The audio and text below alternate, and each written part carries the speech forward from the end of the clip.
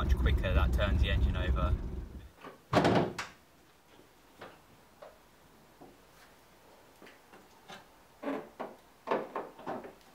Hi guys, so if you saw my previous video you will know I've been struggling to get the van started in the colder weather. Since doing what I did in my previous video, cleaning up all the connections and stuff, it's made such a big difference but it's still taken a few turns to get it started. After speaking to a few people online I've realised that my battery is a bit too small for the old DI engine. It's the battery that came with the van.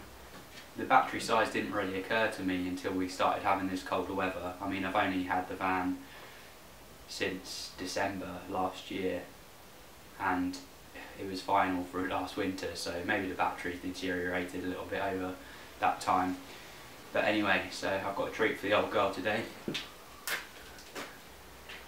right let's take the old battery out.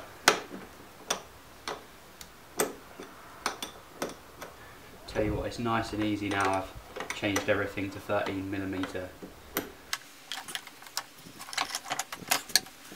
So here we go, I treated the old girl to this nice new Yuasa battery, comes with a 5 year guarantee.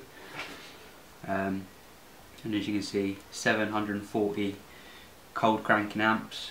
And this one only has 500 80 amp hour, this one was only 53, 12, they're both 12 volt batteries but this one is can deliver much more current in the colder weather.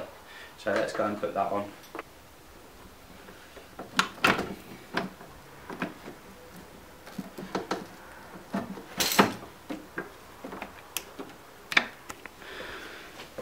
Bit more of a squeeze, but that's got to be a good thing, surely.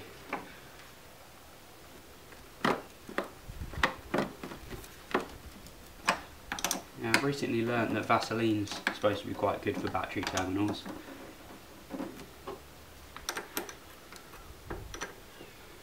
To stop the corrosion. Got a little bit of Vaseline, I'm just going to try that just to protect the terminals. So I've just fitted a nice new battery, I want to keep that topped up now um, when I'm not driving the van. It's a camper van so it does sit for a little bit of time. Um, so I've got this solar panel here and I'm going to connect this up.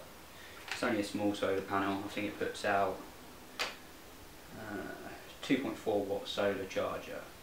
It's got an OBD plug on it, so I'm going to cut that off. Obviously it's no good for this van. And then just going to go straight onto the battery. Yeah. We're still in tier 4 lockdown at the moment, so won't be using this for a while, unfortunately. Um, so I need to keep my battery topped up.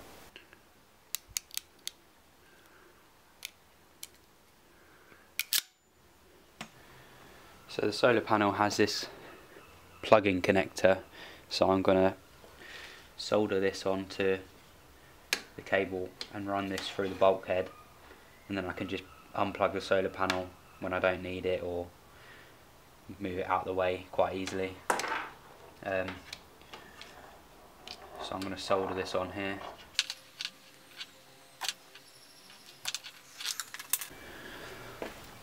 I always try and use solder where I can. Um, where I can't I use crimped connections but those scotch blocks or whatever you call them they are an absolute nightmare don't use them they just cause problems all the time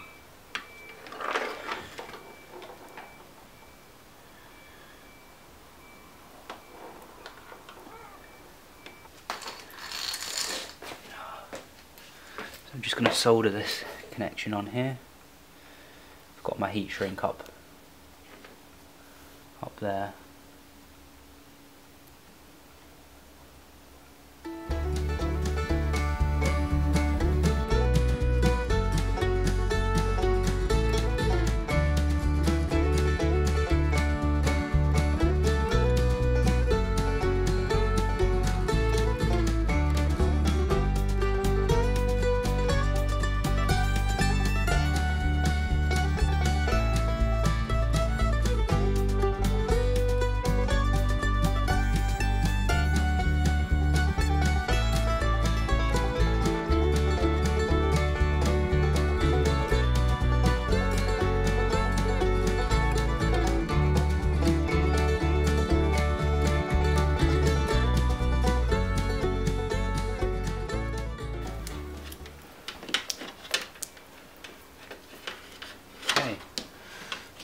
Can be fed through into, into the cab now.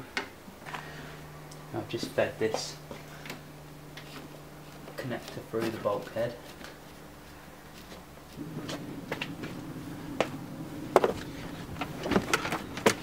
Right, so this is the cable coming through the bulkhead. This is a plug for the solar panel. I can just plug those in now. And that can just live underneath there.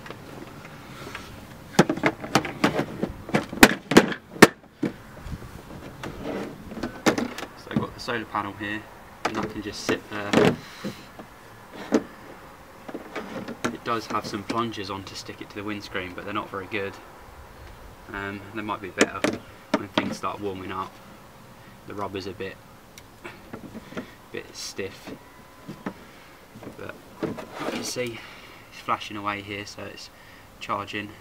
It's literally just to keep it topped up when I'm not driving it for a period of time. Neatly tie this up. It's really not a very big solar panel connected to here so it doesn't need a regulator.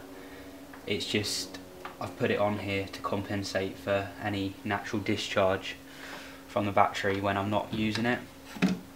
I think it's a good idea to just check the alternator while I'm here, just make sure that's charging the battery.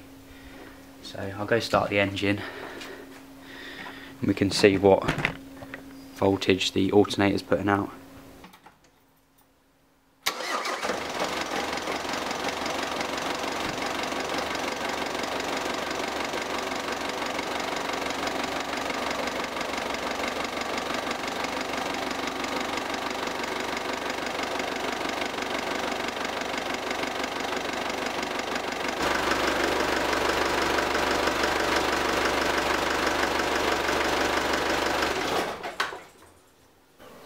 Putting the new battery on, I've definitely noticed a difference um, with it starting in the colder weather. It starts much quicker, the starter motor turns over much quicker.